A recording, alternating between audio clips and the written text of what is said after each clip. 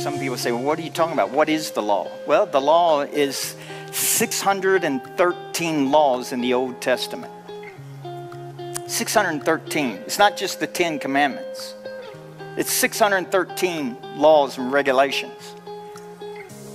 Most of us are breaking some right now of those laws.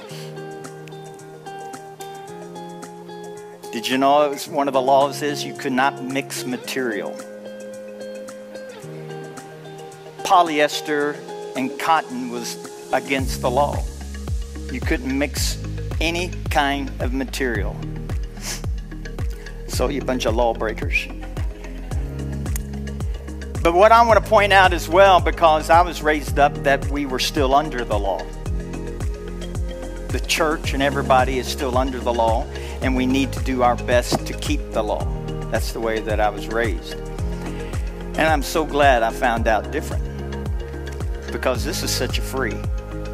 Did you know from Adam to Moses, it was approximately 2,500 years? That's 2,500 and a little bit change years. So you think uh, if the law was so important, why did God wait so long to bring it about?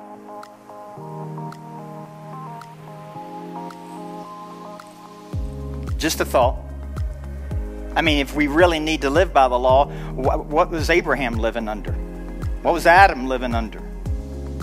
Noah, all of those great patriarchs, what were they living under? Wasn't the law.